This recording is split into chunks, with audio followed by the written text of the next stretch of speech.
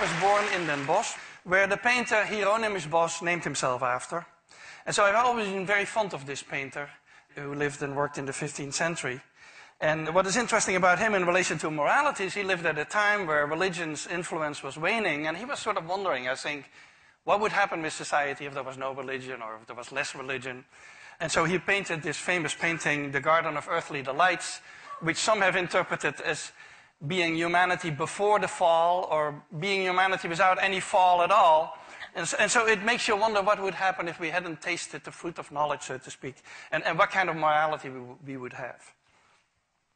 Much later, as a student, I went to a very different garden, a zoological garden uh, in, in Arnhem, uh, where we keep chimpanzees. This is me uh, at an early age with a baby chimpanzee. And uh, I discovered there that uh, chimpanzees are very power hungry and wrote a book about it. And at that time, the focus in a lot of animal research was on aggression and competition. And actually, the whole picture of the animal kingdom, and humanity included, was that deep down we are competitors, we are aggressive, we are all out for our own profit, basically. This is the launch of my book. Uh, I'm not sure how well the chimpanzees read it, but they surely seemed interested in the book. Now, in the process of doing all this work on power and dominance and aggression and so on, I discovered that chimpanzees reconcile after fights. And so what you see here is two males who have had a fight. They ended up in a tree, and one of them holds out a hand to the other. And about a second after I took the picture, they came together in the fork of the tree and they kissed and embraced each other. Now, this is very interesting because at the time, everything was about competition and aggression, and so it wouldn't make any sense. The only thing that matters is that you win or that you lose. But why would you reconcile after a fight? That doesn't make any sense. Uh, this is the way bonobos do it. Bonobos do everything with sex, and so they also reconcile with sex. But the principle is exactly the same. The principle is that you have a valuable relationship that is damaged by conflict, so you need to do something about it. And so I, uh, my, my whole picture of the animal kingdom, and including humans also, started to change at that time. So we have this image in political science, economics, the humanities, philosophy for that matter, that man is a wolf to man. And so deep down, our nature is actually nasty. I think it's a very unfair image for the wolf. Uh, the wolf is, is, after all, a very cooperative animal. And, and that's why many of you have a dog at home, which has all these characteristics also. And it's very unfair to humanity, because humanity is actually much more cooperative and empathic than, you, than uh, given credit for. And so I started getting interested in those issues and studying that in other animals. So these are the pillars of morality. If you ask anyone what is morality based on, uh, these are the two factors that always come out. One is reciprocity, and associated with it is a sense of justice and a sense of fairness. And the other one is empathy and compassion. And human morality is more than this. But if you would remove these two pillars, uh, there would be not much remaining, I think, and so they're absolutely essential. So let me give you a few examples here. This is a very old video from the Yerkes Primate Center where they train chimpanzees to cooperate. So this is already about 100 years ago that we were doing experiments on cooperation. And what you have here is two young chimpanzees who have a box, and the box is too heavy for one chimp to pull in. And of course, there's food on the box, otherwise they wouldn't be pulling so hard. And so they're bringing in the box. And you can see that they're synchronized. You can see that they work together. They pull at the same moment. It's already a big advance over, over many other animals who wouldn't be able to do that. And now you're going to get a more interesting picture because now one of the two chimps has been fed. So one of the two is not really interested in the task anymore.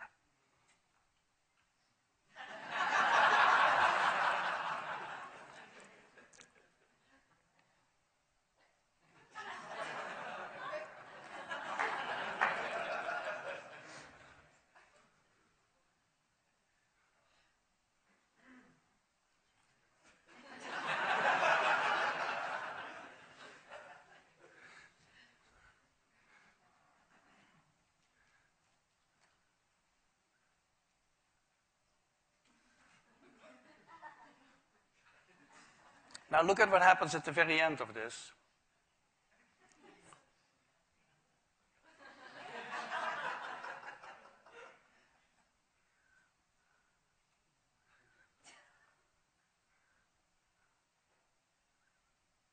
Uh, he, he takes basically everything. So, so there are two interesting parts about this. One is that the chimp on the right has a full understanding he needs the partner, so full understanding of the need for cooperation.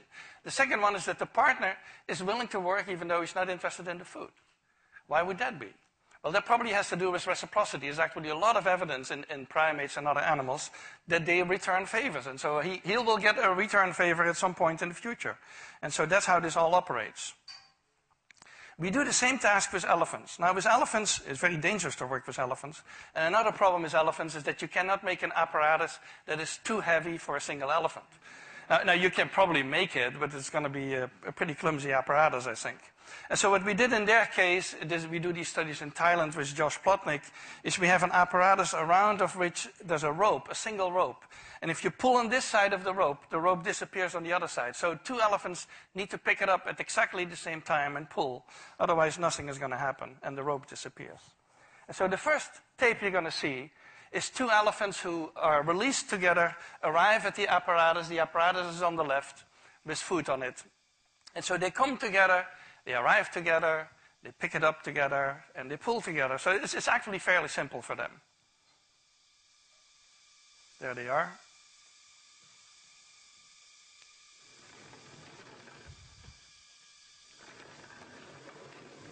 And so th- that's how they bring it in. But now we're going to make it more difficult because the, the whole purpose of this experiment is to see how well they understand cooperation. Do they understand it as well as the chimps, for example? And so what we do in the next step is we release one elephant before the other, and that elephant needs to be smart enough to stay there and wait and not pull at the rope, because if he pulls at the rope, it disappears and the whole test is over. Now, this elephant does something illegal that we did not teach it, uh, but it shows the understanding that he has because he puts his big foot on the rope, stands on the rope, and waits there for the other, and then the other is going to do all the work for him. So, so it's, it's what we call freeloading. Uh, but, but it shows uh, uh, the intelligence that the elephants had. They, they developed several of these alternative techniques that we did not approve of necessarily. So the other elephant is now coming. And is going to pull it in.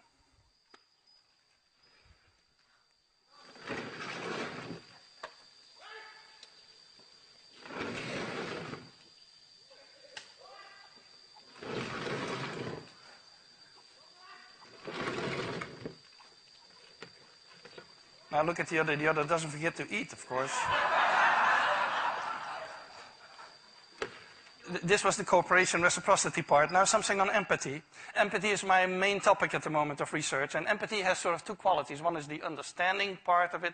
This is just a regular definition, the ability to understand and share the feelings of another, and the emotional part. And so empathy has basically two channels.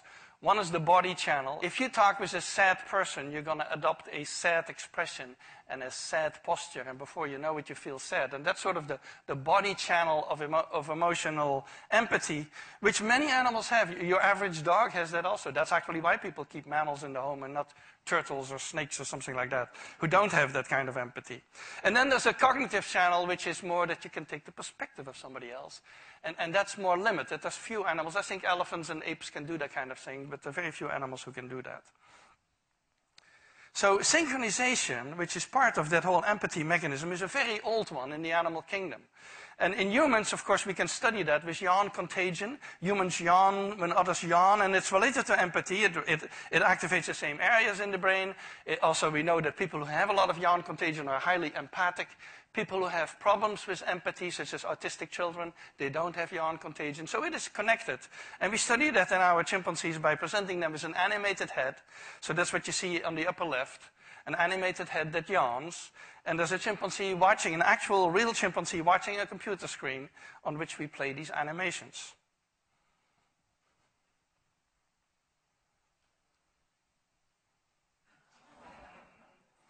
And so yawn contagion, that you're probably all familiar with, and maybe you're going to start yawning soon now, uh, is, is something that we share with other animals. And that's related to that whole body channel of synchronization that underlies empathy. And that is universal in the mammals, basically. Now, we also study more complex expressions. This is consolation. This is a male chimpanzee who has lost a fight and he's screaming, and a juvenile comes over and puts an arm around him and calms him down. That's consolation. It's very similar to human consolation. And uh, consolation behavior. It, it's, it's, empathy, it's empathy driven. Uh, that's actually the way they study empathy in human children is to instruct a family member to act distressed and then they see what young children do. And so uh, it is related to empathy and that's the kind of expressions we look at. We also recently published an experiment, you may have heard about it, on, on altruism in chimpanzees. Uh, where the question is, do chimpanzees care about the welfare of somebody else? And, and for, for decades it had been assumed that only humans can do that. Only humans worry about the welfare of somebody else. Now, we did a very uh, simple experiment. We do that on chimpanzees that live in Lawrenceville, in, in the field station of Yerkes, and so that, that's how they live. And we call them into a room and do experiments with them. In this case, we put two chimpanzees side by side, and one has a bucket full of tokens, and the tokens have different meanings. One kind of token feeds only the partner who chooses, the other one feeds both of them. So this, this is a study we did with Vicky Horner. And here you have the two color tokens. So they have a whole bucket full of them. Uh, and they have to pick one, one of the two colors. You will see how that goes. So if this chimp makes the selfish choice, which is the red token in this case, he needs to give it to us. We pick it up. We put it on a table where there's two food rewards, but in this case only the one on the right gets food and the one on the left walks away because she, she knows already that this is not a good test for her.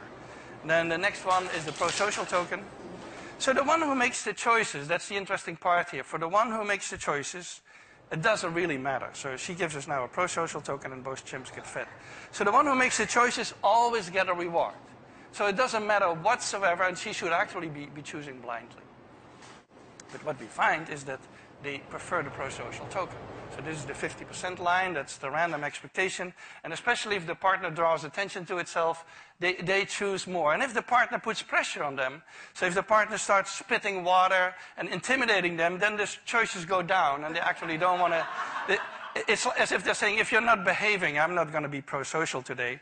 And this is what happens without a partner, when there's no partner sitting there. And so we found that the chimpanzees do care about the well-being of somebody else, especially these are other members of their own group.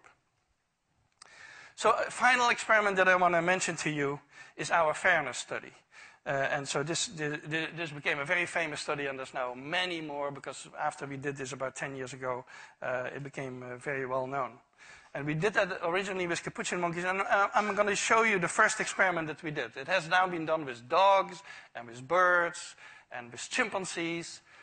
Um, but with Sarah Brosnan, we started out with capuchin monkeys. So what we did is we put two capuchin monkeys side by side. Again, these animals, they live in a group. They know each other. We take them out of the group, put them in a test chamber. And there's a very simple task that they need to do. And if you give both of them cucumber for the task, the two monkeys side by side, they're perfectly willing to do this 25 times in a row. So cucumber, even though it's really only water in my opinion, but cucumber is perfectly fine for them. Now, if you give the partner grapes, the, food preferences of my capuchin monkeys correspond exactly with the prices in the supermarket. And so if you give them grapes, it's a far better food, uh, then you create inequity between them. So that's the experiment we did. Recently, we videotaped it with new monkeys who had never done the task, uh, thinking that maybe they would have a stronger reaction, and that turned out to be right. The one on the left is a monkey who gets cucumber. The one on the right is the one who gets grapes. The one who gets cucumber, note that the first piece of cucumber is perfectly fine. The first piece she eats. Uh, then she sees the other one getting grape, and you will see what happens. So she gives a rock to us, that's the task. And we give her a piece of cucumber, and she eats it. The other one needs to give a rock to us. And that's what she does. And she gets a grape. And she eats it. The other one sees that. She gives a rock to us now, gets again cucumber.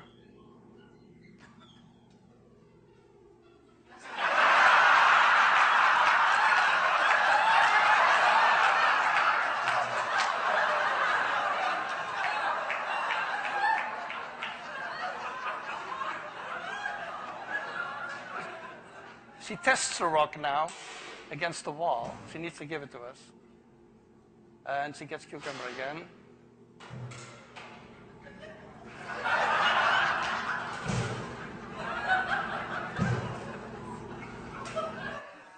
So this is basically the Wall Street protest that you see here.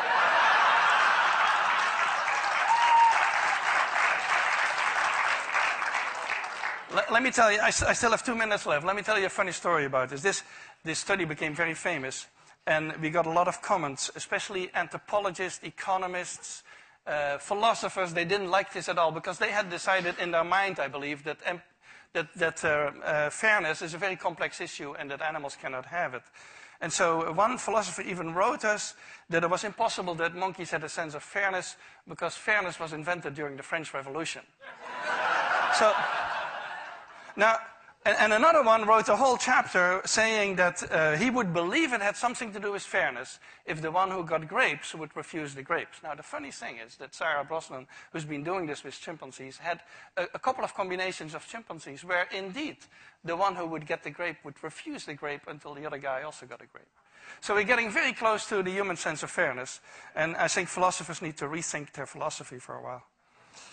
So let me summarize I believe there's an evolved morality. I think morality is much more than what I've been talking about, but it would be impossible without these ingredients that we find in other primates, which are empathy and consolation, uh, pro-social tendencies, and reciprocity and a sense of fairness. And so we work on these particular issues to see if we can create a morality from the bottom up, so to speak, without necessarily God and religion involved, uh, and to see how we can get to an evolved morality.